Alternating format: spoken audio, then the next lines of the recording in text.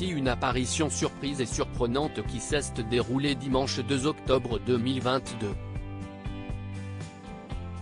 Le Racing Club de Lens, qui ne cesse de surprendre par ses belles prestations sur le terrain en Ligue 1, a pu compter sur un soutien de taille lors de sa rencontre au sommet face à l'Olympique lyonnais le même jour.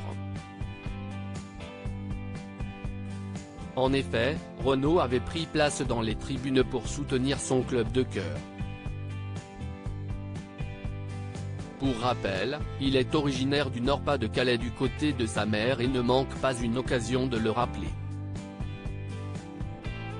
Après trois victoires consécutives en Ligue 1, les joueurs qui jouent en sang et or ont une nouvelle fois réussi à créer l'exploit en s'imposant 1 à 0 face à Lyon. De quoi rendre très heureux tout un club et ses surportés. Parmi eux, Renault. Quelques minutes après la belle victoire de l'équipe de Lens, le chanteur a pris la pause avec le président lensois Joseph Ougourlian. Une photo qui a été partagée sur le compte Twitter du club.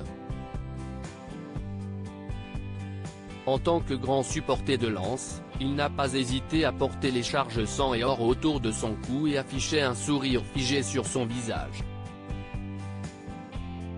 Sur sa tête, il portait ses traditionnelles lunettes de soleil. Rencontre au sommet, on pourrait même dire Twino de Steril, pouvait-on lire en légende de la publication. Une allusion au titre d'un album de Renault dans lequel il reprenait des chansons picardes, en 1993.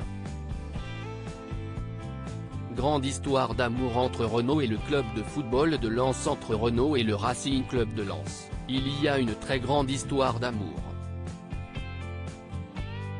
À de nombreuses reprises, les supporters du club rendent hommage au chanteur.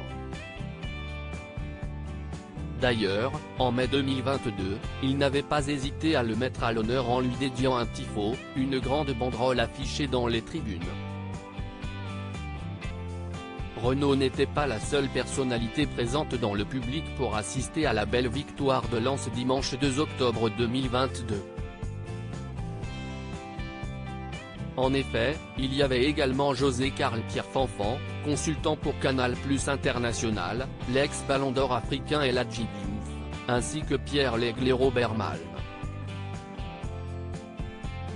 Cette nouvelle apparition de Renault est rare pour être soulignée. Depuis plusieurs années, il limite ses apparitions publiques. La dernière en date remonte à août 2022 et c'était pour une bonne cause. En effet, il avait voulu afficher tout son soutien aux pompiers dans la lutte qui risquent leur vie pour venir à bout des incendies qui ravageaient l'Hexagone. Sur Instagram, le chanteur était apparu aux côtés de Pascal Obispo.